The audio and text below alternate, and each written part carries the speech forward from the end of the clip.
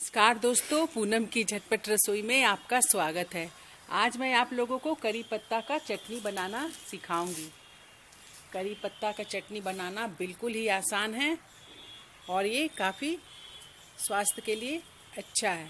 करी पत्ता खाना सेहत के लिए बहुत ही फ़ायदेमंद है।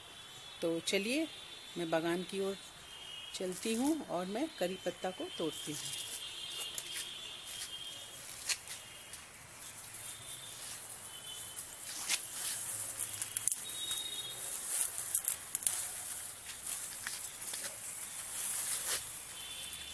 ये देखिए, मैंने करी पत्ता को तोड़ लिया है। और अब मैं किचन की ओर बढ़ती हूँ और चटनी बनाने की तैयारी करती हूँ। तो चलिए, करी पत्ता का चटनी बनाना शुरू करती हूँ। लेकिन मैं करी पत्ता में, इसकी चटनी में मैं मूली और टमाटर को मिलाऊँगी। तो इसके लिए मैंने एक कप करी के पत्तों को लिया है और अच्छी तरह से धोकर साफ़ कर लिया है। एक मीडियम साइज़ का टमाटर लिया है। डेढ़ टेबल स्पून मैंने लहसुन को लिया है और इस तरह से काट लिया है। एक बड़े साइज़ का मैंने मूली को लिया है और इस तरह से टुकड़ों में काट लिया है। एक हरी मिर्च आप जितना तीखा खाना चाहती हैं, आप उतना उसी हिसाब से आप हरी मिर्च को ले सकती हैं और एक नींबू को लिया है। नमक स्वादानुसार और मैंने सरसों का तेल डेढ़ टेबल स्पून लिया है। तो चलिए चटनी बनाना शुरू करते हैं।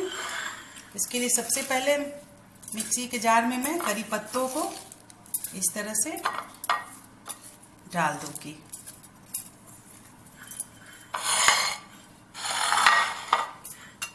इसके बाद मैं मूली को इस तरह से डाल दूँगी।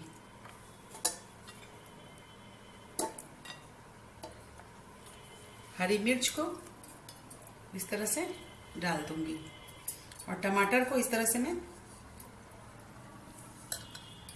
तोड़कर इस तरह से हाथ से, इस तरह से डाल दूँगी।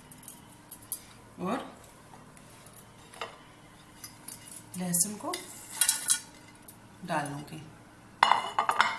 और अब मैं इसे मिक्सी में पीस लूँगी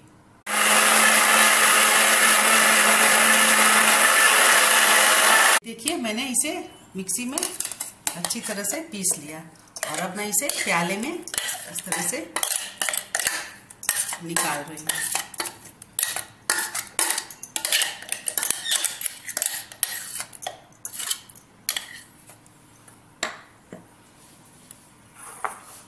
और अब मैं इसमें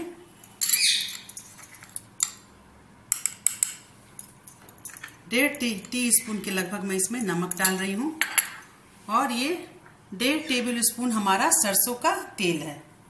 ये तेल मैंने इसमें डाल दिया। और अब मैं इसमें नींबू को इस तरह से निचोड़ दूँगी। ये देखिए इस तरह से। आप जितना खट्टा खाना चाहती है, उसी हिसाब से नींबू को डालें। मैं एक नींबू को इस तरह से निचोड़ कर इसमें डाल रही हूँ। ये देखिए इस तरह से।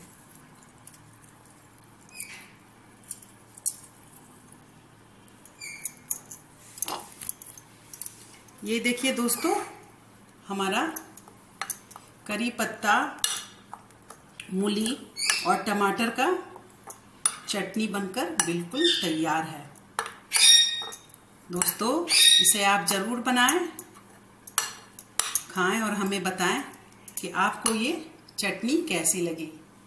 यदि आपको अच्छी लगी हो तो आप इसे ज़रूर लाइक करें। और यदि आपने अभी तक हमारे चैनल को सब्सक्राइब नहीं किया है तो इसे सब्सक्राइब ज़रूर करें।